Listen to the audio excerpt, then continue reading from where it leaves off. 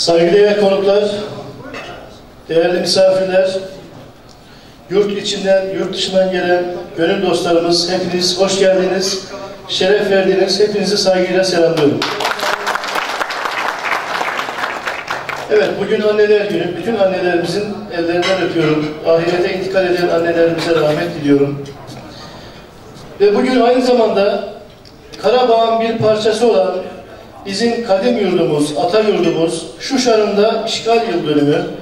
O nedenle Ermenilerin işgal ettiği bu toprakların da bir an önce azat edilmesini Yüce Rabbimden niyaz ediyorum.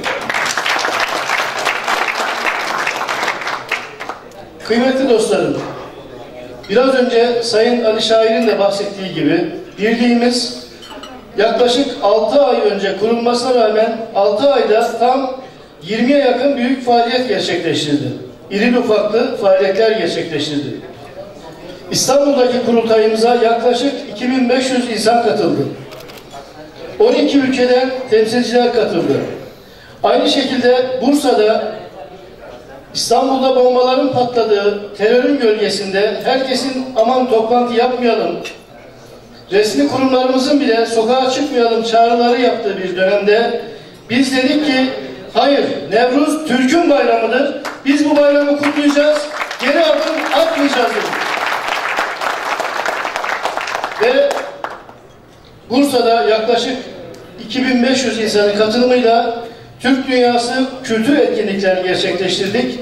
O sırada yanımda Bursa Büyükşehir Belediye Başkanı oturuyordu. Kulağıma eğildi, ya dedi Seyfullah Bey dedi.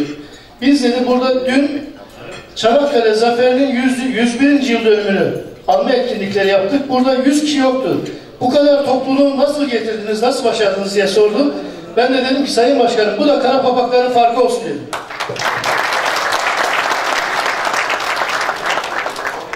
Nasip olursa 14 Mayıs'ta Sivas'ta büyük kurultayımızı gerçekleştireceğiz. Devamında yine başka etkinliklerimiz var. 2016 yılı içerisinde pek çok yapacağımız faaliyetler var. Aynı şekilde 2017 yılı e, projelerimizi de şimdiden belirledik. Dünya Karapapak Türkleri Birliği'nin kısa sürede bu kadar önemli adımlar atmasının en büyük sebeplerinden biri bu birliğin bir vizyonunun bir de hedeflerinin olmasıdır.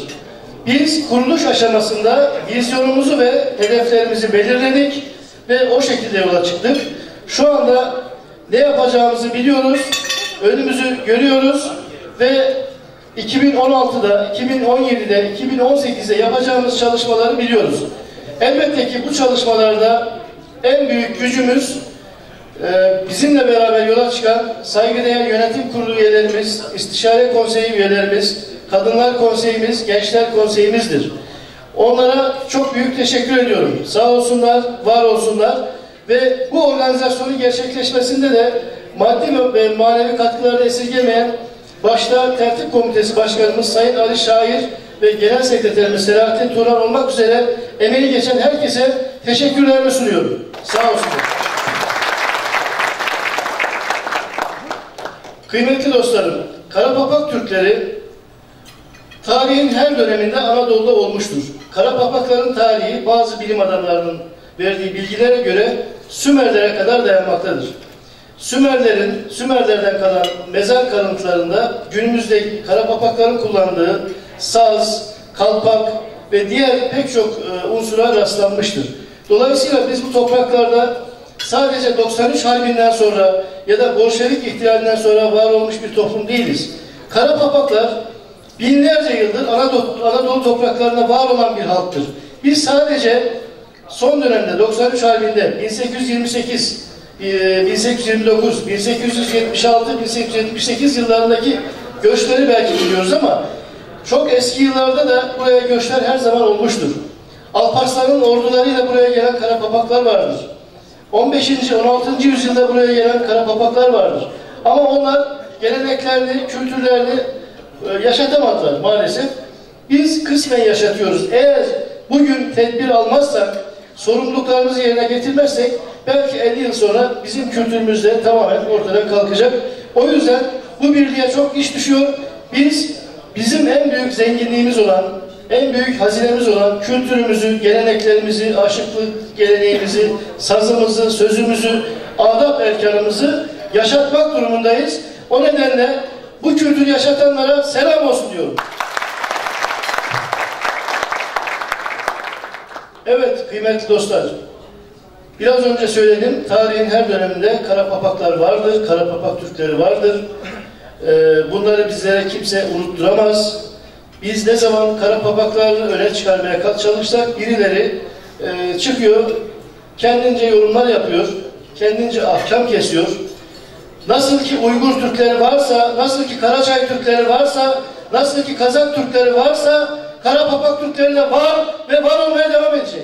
Bunu hiç kimse engelleyemez. Çünkü Kara Papaklar tarihin her döneminde cesaretleriyle, yiğitlikleriyle, mertlikleriyle e, tarih sahnesinde var olmuşlardır. Alparslan'ın ordularında Kara Papaklar vardır. Hamidiye süvari alayları içerisinde öncü saflarda Kara Papak süvarileri yer almıştır. Ağızkan'ın işgalinde Ruslara ve Ermenilere karşı Kara Papaklar direnmiştir. Dediğim gibi bu örnekleri çoğaltmak mümkün. Tarihin her dönemde Kara Papaklar vardır. Kara Papaklar bugün de kültürlerini, dinlerini, dillerini, medeniyetlerini yaşatma azmindedir. Ve dünyanın şu anda 14-15 bölgesinde Kara Papaklar e, kütlevi şekilde yaşamaktadır. Ben 15 gün önce Kazakistan'daydım. Oradaki Kara Papak terekemeleri buldum. Düşünün 14 Kasım 1944 yılında Sovyet diktatörü Stalin'in sürgün ettiği 98 bin Ağızka Türk'ünün üçte biri Karapapak terekemedir ama kimsenin haberi yoktur bundan. Böyle bir şey olmaz. Yani e, biz akrabalarımızı bulmak durumundayız. O akrabalarımızın dertleriyle ilgilenmek durumundayız. Bugün e, Kazakistan'da 100 bin Karapapak terekeme var. Kırgızistan'da 10 bin Karapapak Türk, terekeme Türk'ü var. Dağıstan'da 150 bin nüfuslu Karapapak terekemeler var ve yaşadıkları toprağa da Ulu Terekeme Yurdu demişlerdir. Biz bunlara yabancı kalamayız. Biz bunlara duyarsız kalamayız. Yine 1828 Türkmen Çay Anlaşması'yla eski bir Türk yurdu olan ve bugün Ermeni işgali altında olan İrevan, bizim hanlığımız, beyliğimiz, devletimiz olan İrevan'dan e, binlerce Karapapak Türk'ü bugün Sulduz'da, İran'ın Sulduz bölgesinde, Urmiya'da, Tebriz'de hayat mücadelesi, yaşam mücadelesi vermektedir. Dolayısıyla bizim birliğimiz sadece kaz gecelerinde, kete gecelerinde bir araya gelen e, böyle e, sıradan bir dernek değil. Biz kültür temelleri olan, projeleri olan, hedefleri olan ve e, uzak ufukları gören bir birlik olmaya çalışıyoruz. Buradaki en büyük gücü ben arkadaşlarımdan alıyorum. Sağ olsunlar çok kıymetli bir yönetim kurulu ekibimiz var, istişare konseyimiz var. Yüzün üzerinde çok seçkin bir toplulukla biz bu hizmetleri yapmaya çalışıyoruz. Ve o yönüyle ben iddia ediyorum, Türkiye'nin en güçlü, en etkin sivil toplum kuruluşlarının başında Dünya Karapapak Türkleri Birliği gelmektedir. Ve bunu önümüzdeki süreçte dosta, düşmana, herkese gönderir göstereceğiz. Karapapak Türklerine herkes saygı duymayı öğrenecek. Karapapak Türklerin yanında nasıl konuşulur, nasıl davranılır onu bütün dünyaya öğreteceğiz. Ama bunu şiddetle, kabalıkla değil, bize yakışan üslupla öğreteceğiz. O nedenle bu kültürü yaşatanları ben e, her zaman takdirle, saygıyla anıyorum. Bizler de bu kültürü yaşatma noktasında elimizden gelen gayreti göstereceğiz. Ama elbette ki bizim birliğimizin bazı hedefleri var, bazı projelerimiz var. O projelerin gerçekleşmesinin en önemli yollarından biri ekonomik işbirliğidir. Ekonomik köprüler kurmak durumundayız. Bireysel güçler, bireysel zenginlikler bir şey ifade etmez. Sadece o insanın kendisini, ailesini belki rahatlatır ama eğer aidiyet şuurunu yaşamak istiyorsak, kültürümüzü, milli değerlerimizi yüceltmek istiyorsak mutlaka ekonomik işbirliklerini yaşatmak ve geliştirmek durumundayız. Karapapak Türkleri ekonomik ilişkilerinde birbirine destek olmak zorundadır. Yani bir inşaat, birisi inşaat yapıyorsa onun kapısını, penceresini bir, kendi bildiği, tanıdığı bir karapapak varsa bir başkasından almamalıdır. Bunun gibi örnekleri çoğaltabiliriz. Biz ekonomik işbirliğimizi eğer geliştirebilirsek çok güçlü bir dobi oluşturabiliriz. lobisi olmayan toplumların sayısı isterse 5 milyon olsun, 3 milyon, milyon olsun hiçbir değeri, hiçbir kıymet harbiyesi yoktur. O nedenle biz ekonomik işbirliğini geliştirmeyi hedefliyoruz. Ve e, düşündüğümüz bazı projeler de var. Ben 2-3 gün önce doğum yerim olan Kars'taydım. E, yönetim kurulu üyelerimizden Sayın Erkan Koçali, Sayın Ali Şair ve diğer dostlarımız çok iyi bilirler. Kars'ta e, tıpkı İstanbul'da Hidif Kasrı gibi, Pembe Köşk gibi, Emirgan Köşk gibi yine Kars'la özdeşleşen bir tarihi mekan var. Aynalı Köşk. Şu anda maalesef bu köşk çürümeye terk edilmiş durumdadır ve e, verimli kullanılmamaktadır. Boş duruyor. Onunla ilgili bir talebimiz oldu. E, Sayın Vali ile ve yetkililerle görüşmelerimiz oldu. Şu anda onun kullanım yetkisi TÜRSAP'taymış. Önümüzdeki günlerde TÜRSAP Başkanı ile konuşarak bu aynalı köşkü kültürümüze, medeniyetimize, tarihimize nasıl kazandırırız? Şu anda onun planlarını yapıyoruz. Sağ olsun iş adamı dostlarımız Sayın Erkan Koçali, Sayın Ali Şahin ve diğer dostlarımız bu projeye mutlaka destek vereceklerini söylediler. Hep söylerler, işte Kars'ta 70'li yıllarda opera vardı, şu vardı, bu vardı. E yine olabilir, yani bu zor bir şey değil ki. İstersek olur. Allah nasip ederse biz isteyeceğiz ve inşallah olacak. Kars, Doğu Anadolu'nun kültür başkenti olmalıdır. Çünkü Kars aynı zamanda aramızda Muşlu kara papaklar var, Ağrılı kara papaklar var, Tokatlı kara papaklar var, başka yerlerden gelen kara papaklar var ama hepsinin Sivaslı kara papaklar var ama hepsinin geçiş noktası Kars. Herkes Kars'ta şöyle veya 3 ay 5 ay olsa mutlaka kalmıştır ve oradan Anadolu'ya yayılmıştır. O yüzden Kars bizim kültür başkentimizdir. Eğer Allah nasip ederse o kültür merkezini biz bünyemize katabilirsek göreceksiniz orada müthiş medeniyetimiz adına, kültürümüz adına çok büyük güzelliklere şahit olacağız.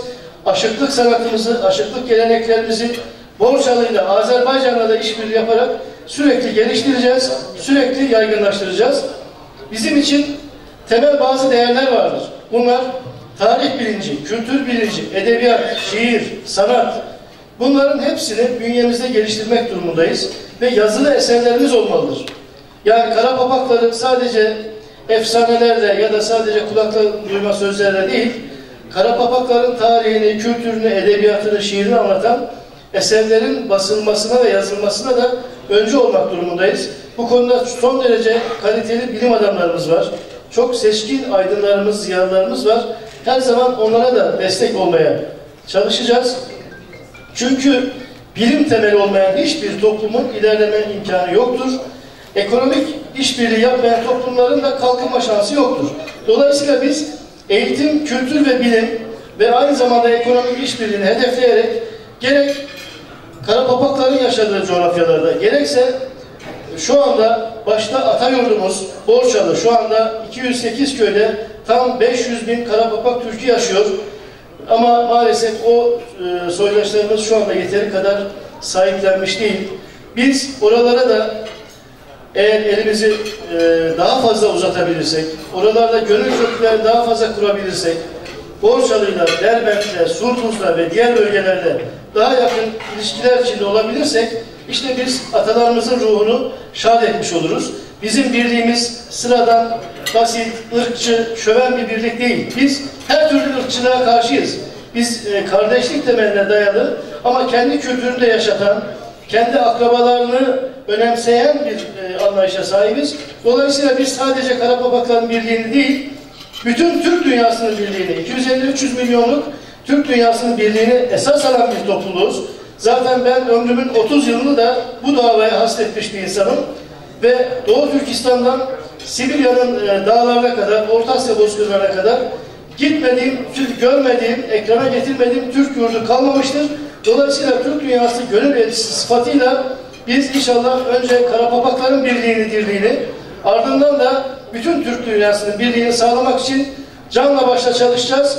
Elimizden gelen gayreti göstereceğiz.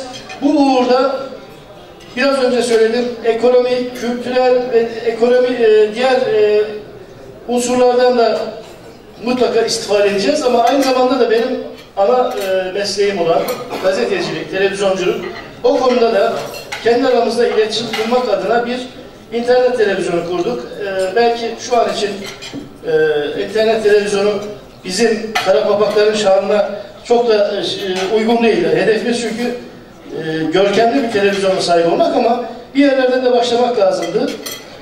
E, karapapaktv.com şu anda hazırlık safhasında şu, e, iyi bir ekip görev alıyor. Mehmet Ali Nalbant'ın başkanlığında. Önümüzdeki dönemde de Karapapak terekemelerle ilgili her türlü bilgiyi, her türlü iyi veya kötü haberi oradan okuyabilirsiniz. Tarihimizle ilgili, kültürümüzle ilgili, sanatımızla, müziğimizle ve diğer bilgi konularla ilgili.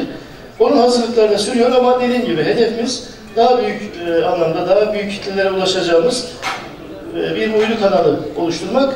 O da çok zor değil. Önümüzdeki dönemde onu da yapacağımıza inanıyorum.